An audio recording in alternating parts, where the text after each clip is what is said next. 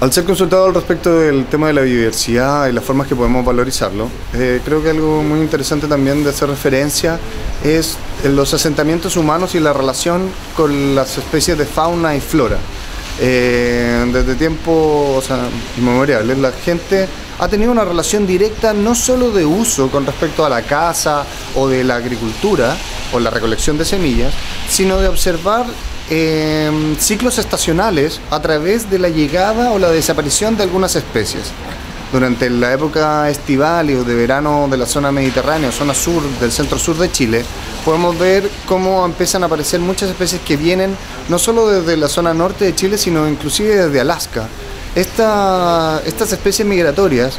daban alguna forma indicios de que la temporada estaba cambiando y estas poblaciones hacían tomaban esto como referencia para eh, iniciar periodos de, plantación de especies, de flora, para em, observar ciclos naturales que les permitían a ellos acercarse más hacia la costa, la época de, la lluvia, donde muchas zonas de humedales, de vegas o fedales se llenaban de, agua y que les permitían eh, darse cuenta que había un ciclo que se repetía año tras año. Esto es importante creo también a nosotros contemporáneamente,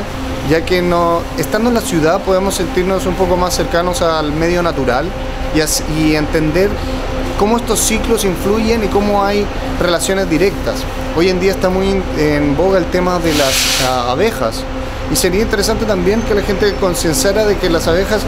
no y junto con las aves y otros animales, son vectores de dispersión de, especies de flora. Una, una, buena fauna, una fauna que está equilibrada, que no tiene problemas de amenazas, eh, permitirá que, tengamos más flores, más plantas en, en las zonas aledañas a la ciudad creo que es importante que tengamos una visión del todo y cómo nosotros nos integramos a este medio y no debemos producir eh, daños, protegiendo especies nativas y tratando de que las, especies que eh, nosotros observemos eh, vuelvan cada año a la ventana o a la quebrada cercana a nuestra casa. Tú nos explicabas que había especies que servían a su vez de alerta frente a temas como por ejemplo la rana chilena frente al tema de la publicidad, el quique bueno, en alguna forma, claro, de alguna forma los anfibios y los reptiles son excelentes bioindicadores de la salud de un lugar, ya que al verse degradado, normalmente son los primeros en, eh, en irse. Son muy sensibles, son animales que, tienen, que viven en dos, en dos ambientes, un ambiente acuático y un ambiente terrestre, por lo que cualquier daño a estos dos ambientes eh, produce su, lamentablemente su mortalidad y su desaparición. Es, bueno tener presente de que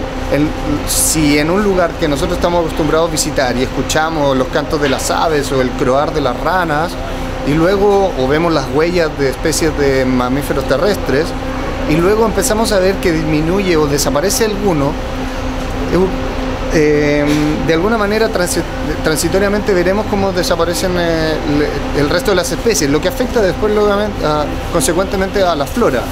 Eh, es bueno tener de alguna forma los bioindicadores como referencia de los bioindicadores naturales, me refiero, de especies, como referencia de la salud de un, medio completo. lo que yo hablaba anteriormente, la aparición de especies exóticas introducidas, la zarzamora, que es tremendamente em, invasiva y dañina, ya que cierra espacios donde ninguna otra especie de flora podría colonizar y, además eh, no, las características de la zarzamora no dan mucho de como de nicho para la em, generación de nidos de, avifauna eh, continental. Tenemos el claro ejemplo del daño que produjo la zarzamora, el maqui en Juan Fernández, donde fueron introducidos y eh, esta especie de, la zarzamora, al tener un tamaño de espina determinado y el entramado,